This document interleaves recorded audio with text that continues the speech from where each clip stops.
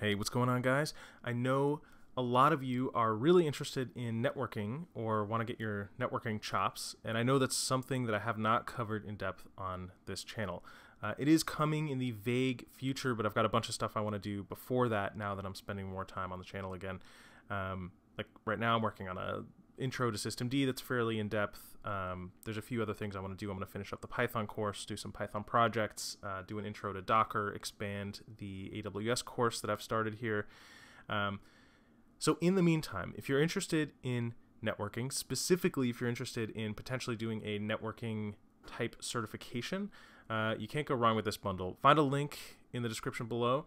This definitely covers the Windows side in depth, uh, but then it also covers um, the Net Plus study guide. I actually like this exam. I know a lot of people kind of poo poo this one, um, but I think the Net Plus is a fine exam, and the, and the materials are fine, basic um, sysadmin networking materials. Uh, if you pick up this Net Plus study guide, I'm I'm guessing you're going to enjoy it. I think I used the Wiley guide uh, when I did it, which was years ago. I highly recommend that one. Uh, the other one here, uh, this one I'm looking forward to uh, downloading in just a second. Network attacks and exploitation, network security bible. Um, where was it?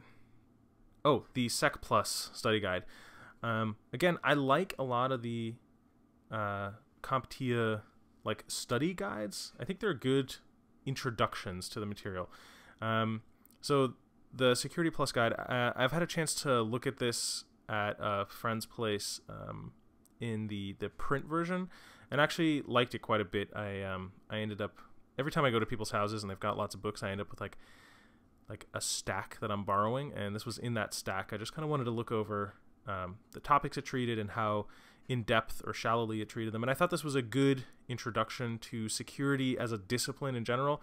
Definitely very industry based, so not like a pen testing hacking approach, but kind of like a uh, you know blue team like you're a regular IT guy or a dev or someone that's got to take care of the stuff on somewhere in ops. I, I think it's a good primer on security.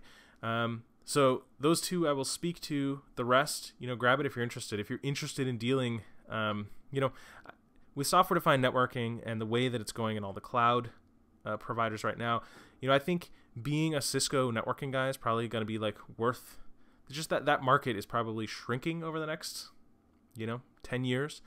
Um, so unless you really know what you're getting into, I don't recommend it as a specialization as much anymore. But everybody's got to know the basics. Um, and the more you know, the better you're going to be able to deal with a lot of problems that you come up against, um, especially in this weird distributed systems world that we're all living in.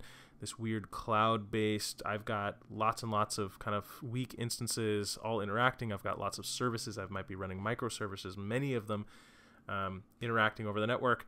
Well, having some idea of what those networking layers underneath look like uh, is really important. Probably more important now than ever. So, again, highly recommend it. Check it out. Sorry, I'm doing two of these at once. I promise I'm coming out with actual educational content soon. Um, I'm just traveling right now and uh, saw this one. I figured everybody should have it. Some, uh, I think Fred, Fred in the comments, you tipped me off. I appreciate it.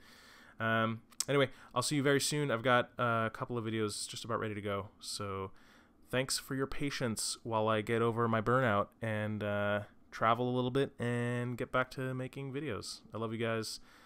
See you soon. Peace.